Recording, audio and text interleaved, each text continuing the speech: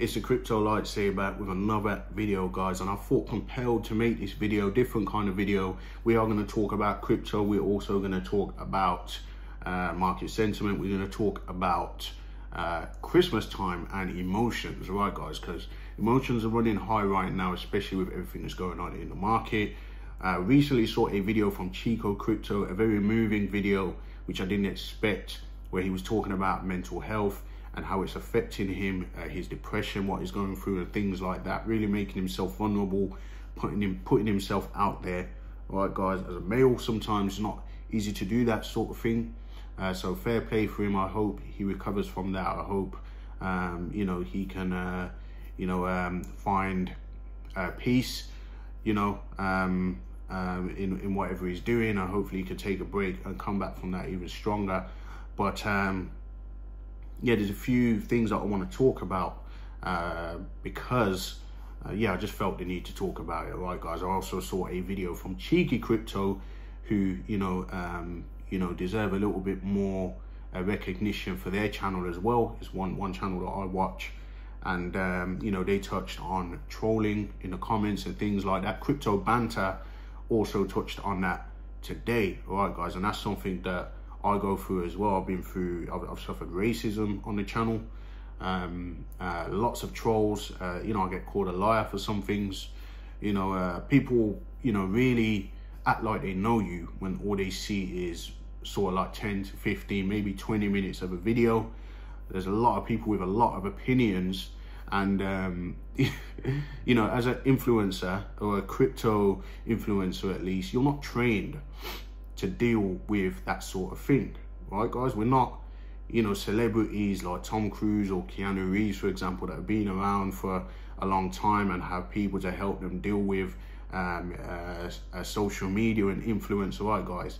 And this is something that, you know, you go through it and it kind of makes you, it kind of wakes you up to, you know, the toxicity that uh, some people that are in the public eye have to endure okay guys. So you know me being an influencer uh, I haven't I'm not you know that's that's just one side to me all right? Being an influencer crypto lightsaber or whatever that's just one side to me. I am a human being. I have a family. You know I've been um, uh, you know um, recently sick. Right guys me and my wife actually had COVID. Right guys but still trying to put content out. Uh, my mother's been sick in the hospital still trying to put content out. All right, guys, so people go through real things, and this is the Christmas time where people are going through real things. So really, um, you know, um, yeah, was moved by Chico Crypto's video, and I thought I'd make a video and address some things. Okay, guys. So outside of crypto, I have a background in social services, and I've worked with a lot of young people, and I always notice around Christmas time is young people that um, you know went into care and stuff like that. Around Christmas time, emotions were always running high. Incidents were high. Um, you know, it's like people going crazy around Christmas time every single year. So I know that you know this time of year kind of triggers people's emotions, especially when it comes to family. Another area would be finances, and uh, obviously when it comes to crypto and people people's portfolios are taking a bit of hit when they had expectations or goals that they were planning to reach. I know I myself had a certain goal uh, that I was trying to reach by end of the year, which has been thrown out the window now uh, because of everything that's going on. Like nobody could have known that we were going to see um, uh, uh, this virus that's hit our, our, world. Nobody could have known that um, there was going to be a new variant um, in the in the in the, in the past month. Nobody could have known what was going on in the traditional stock markets with Evergrande or whatever. Okay, guys, you can't predict these things. Okay, so uh, when people are trying to figure out the market and they've got price expectations and you know chart history and all that sort of stuff, world events can kind of throw those things out of the window. So um, you know uh, what you'll find is uh, when these things happen, uh, with you being an, or myself, for example, being an influencer, people look for somebody to blame um, when, you know, uh, people's goals are not achieved or reached as they were expecting to. People get emotional and they like to take their emotions out on somebody sometimes, all right, guys? And you'll find in the crypto space, you get a lot of people, you get a lot of young people, all right, guys, who are not necessarily mature enough or experienced enough to handle their emotions. And um, what you'll find is uh, uh, with young people, especially in schools and all that sort of stuff, uh, there's a thing called cyberbullying. Okay, guys, not just with young people, but I'm using young people as an example because um, uh, predominantly um, you do see a lot of tragedies around that around you know a young age when it comes to cyberbullying and people that don't understand how to um, deal with emotional abuse or trolling for example okay guys so i think it's time for people to wake up and start you know thinking about what they're doing behind a computer, thinking about what you're doing with crypto. You know, if you're expecting, you know, every video you watch to get um, to get uh, it right, for example, you know, um, you're gonna have to change that expectation because things can happen. That's why we also say it's not financial advice. I don't risk more than what you can afford to lose because at the end of the day, you have to understand a lot of times if an influencer is talking about a certain token or coin, right? They're more likely going to be invested in it a lot, a lot of the time, most of the time. Like I, everything that I talk about, or 90, at least 90, 95% of what I talk about, I'm invested in. And I'm basically a member of that community who's making content to try to raise awareness of the investments that I'm making. I'm, I'm doing my part for the community. All right, guys, anybody that is invested in a token, any form of cryptocurrency, uh, you can play your part for your uh, investment and try to raise awareness and get more people to uh, invest in the same uh, projects because that's going to help your investment, right, guys? So those people that come in the comments, for example, on my channel and say this guy's just shilling his own bags. I mean, that's the, those are some of the dumbest comments I've ever heard, you know, because I mean, whose bags should I shill? Should I shill somebody else's bags? You know, should I should I only talk about tokens that I'm not investing? doesn't make any sense, right, guys? I'm, I'm going to talk about tokens that I am invested in, right? And, and that way, at least you know I'm putting my money where my mouth is, right? So, yeah, it doesn't make sense, some of the things that, that people say, you know. Uh, I've had racism on the channel where people have gone after the color of my skin, you know um, i've been called all sorts all right guys and you know i found myself at times arguing with people in the comments a lot of the time i delete i just delete all right guys i delete or i mute but i have notifications right so when you leave a comment on the channel i get a notification of that comment. And the reason i get a notification is because i have notifications switched on not because i want to see every comment that comes through but there's people that i watch you know that i follow. You know i'm just a regular guy who also watches crypto videos. In fact if it wasn't for me watching crypto videos i probably would have never been inspired to make videos about cryptocurrency and start a YouTube channel. Okay, so, you know, I have my notifications on and that way if, let's just use Chico Crypto as an example, Chico Crypto drops a video, I'll get a notification and I can watch that video. Rather than, you know, if, if, if, uh, if I'm not subscribed or I'm not um, got the little bell ticked, then, you know, I might not see that video for three days or three weeks and then you know, a potential opportunity that I could have invested in early, I may have missed it by two, three weeks, right, guys? And the market might have left me behind. So, of course, you know, it's wise having your notifications turned on. So, I leave my notifications turned on. But not only that, I am an influencer and I have people leaving comments where sometimes I need to respond. Sometimes someone might have a question that they might need help with, and so on about a particular token or video that I've done. Okay, guys, so you know, this exposes me to have to pay attention sometimes to some of the horrible things that people say. And I try not to respond to them and get into beef over the, you know, in the comment section. where every now and again, I fail, uh, I fail and I end up engaging with somebody who doesn't have anything positive to say. And, you know, sometimes I just have to kind of answer a fool in their folly. Um, you know, uh, and that's going from from a scripture that you know um, I I read in the Bible. Okay, guys, but yeah, I mean, I think people need to raise their awareness, and um, kind of understand that, you know, the markets are something that can be very emotional. Some people are just bad mind. They're just horrible people that don't have anything better to do anyway. And um, yeah, another thing, you know, people that, you know, it's, it's almost like some people follow the channel just to dislike the video or some people, um, you know, come on the channel just to leave negative comments and encourage people not to come on the channel. You know, rather than just unsubscribing if you don't like the content that someone's making, they like to stick around so that they can, you know, be a troll for as long as they can. You know, there, there's another group of idiots that need to kind of go and educate themselves and get out of the comment section, you know, go and get a life, uh, sort yourself out. But yeah, the market, the way the markets are right now is triggering a lot of emotions and um, people don't know what to do, right? People don't know whether to buy, whether to sell, uh, whether to hold, you know, nobody knows what to do right now because uh, the chart history has taken a turn which nobody saw coming. Nobody expected this at this point, you know? So um, everyone could be out there saying this is what's going to happen with the market. This is what's going to, you know, but, you know, if you're a trader, you know, anyone that's a real trader, they go by probability. What is the probability? Is it prob probable that Bitcoin will go up or go down? For example, using Bitcoin as an example, I don't hold any Bitcoin. You know, I invest in very low cap cryptocurrencies and a lot of the time I'm just sharing with you what I'm investing in, all right, guys.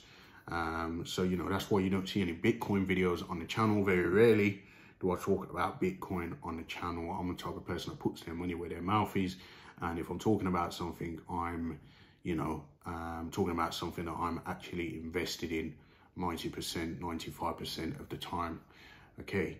So, um, yeah, right now, I think the way the market is, it's, um, you know, it's one of them ones where it's almost like sometimes you have to allow if you and what i'm saying is um you know the market's had a big dip so before we get onto that the market's had a big dip and if you have held through it you know um i i would never advise anyone. It's not financial advice or anything like that but right now probably not the time to sell um you know but that's just my opinion okay guys? But what i would say is that you know in terms of it being the time to buy um, you're getting better prices than what you were yesterday and the day before and last week, All right, guys? So, you know, the whole market is on a discount. Some people say they're waiting for a dip, and then when the dip comes, um, you know, they look at the fear and greed. Uh, you look at the fear and greed index, and you see, you know, there's so much fear in the market, but yet people are still not taking advantage of the dip. But what I would say is that sometimes you have to let the market leave you behind just a little bit and wait for those confirmations. All right, guys, I know what it's like in the crypto space. I know it's like, you know, um, you feel like you've missed out if the market pumps.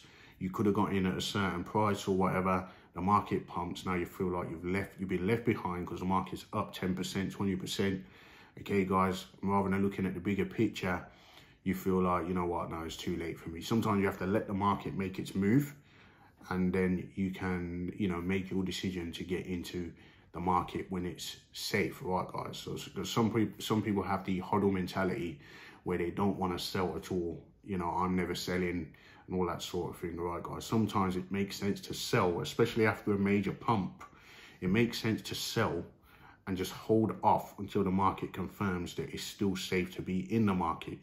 When that happens, or when you do that, psychologically, some people feel like they've lost out because now the market's gone up even higher and they could have made more. Now they're buying in at a higher price. Okay, guys, and you have to change, you have to switch your psychological perspective on it and just say to yourself at the end of the day, profit is profit. If the market's pumped, you made a profit, right? And you're just, you know, protecting your capital, right? That's what the, that's what the VCs do. That's what the, um, you know, the whales do, right, guys? Or, well, you know, uh, in the traditional markets, you know, they protect their capital. You know, they, they don't feel any way to take profit. Obviously, a lot of the time they're selling into a pump anyway because they're looking for exit liquidity. So, you know, you sell into a pump, you know, you don't necessarily buy into a dump. What you do is you buy the accumulation, you buy the fear. Okay, guys, so it's like, it's not about trying to catch a falling knife or anything. When you get a, a, a nice bounce and you get a stabilization in the market, that's when you can start to accumulate and um, you know look at the bigger picture and see you know where where are we going in the longer term. Right guys. Now i think we have to kind of switch our time frames right now uh, just because of and you probably heard this you know several times but you know it does make sense at the end of the day. And everything i say i've either heard somewhere seen somewhere or read somewhere. Okay guys i'm not a genius or anything like that.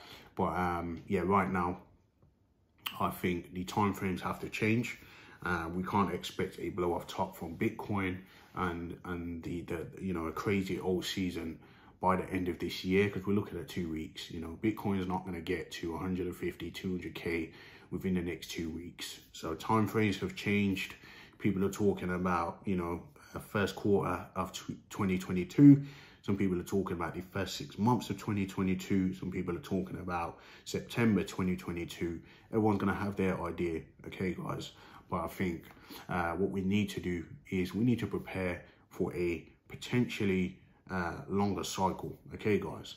And what this does is it provides a second chance for you to make serious gains because at the end of the day, the market has gone up a lot. But the longer it takes to perform the blow off top, uh, the more uh, time you're going to have prepare. Uh, you, the more time you're going to have to prepare uh, and and you know raise up capital to invest in the market okay? Um, and the the the higher this cycle can potentially go. All right guys.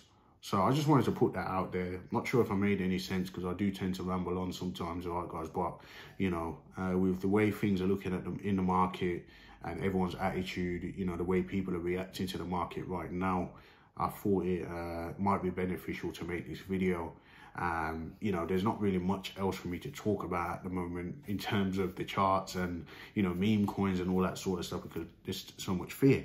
All right, guys, until we see, a see a turnaround, you know, uh, you know, it's not like I can, you know, do a chart. It doesn't make sense to do a charting video and just do what everyone else is doing.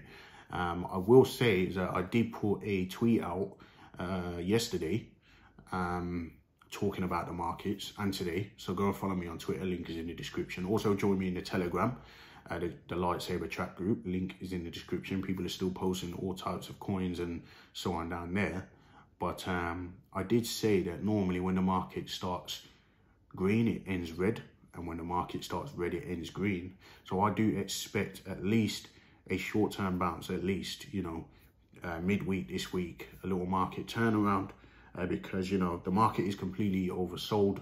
Uh, well, a lot of a lot of things are completely oversold right now. If you look at the RSIs on a lot of tokens, for example, um, I am expecting some sort of a bounce. Do I expect to um, hodl or huddle uh, the position? the very few positions that I do have? I'm not going to be huddling through those bands. In fact, I have been buying. I was buying over the last couple of days, um, and I'm looking for a short-term bounce um, out of this market.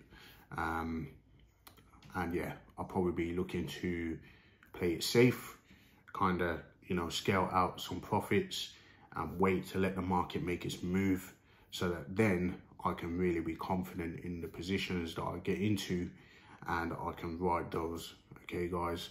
Um, that being said, uh, that's the end of the video. All right, guys, I just wanted to make that video.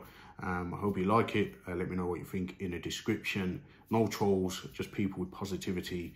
All right, guys. And remember, Christmas time is actually, uh, you know, to uh, celebrate the birth of Jesus Christ. All right, guys, that's the original meaning of, of uh, why we celebrate Christmas, at least here in the UK. We remember the birth of my Lord and Savior, Jesus Christ. And um, yeah, I mean, a lot of people talk about the baby, Jesus the baby, but they don't talk about the man, um, everything that he came for to die for people's sins and so on. All right, guys, so I do encourage you to get to know what, you know, Christmas is all about, you know, because it's turned into a thing where in America, they're not even allowed to say Merry Christmas anymore. For example, they have to say Happy Holidays, or at least I heard that once before. Um, we're losing the true meaning of Christmas.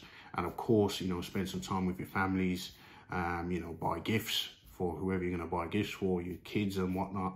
All right, guys, make sure you enjoy yourself.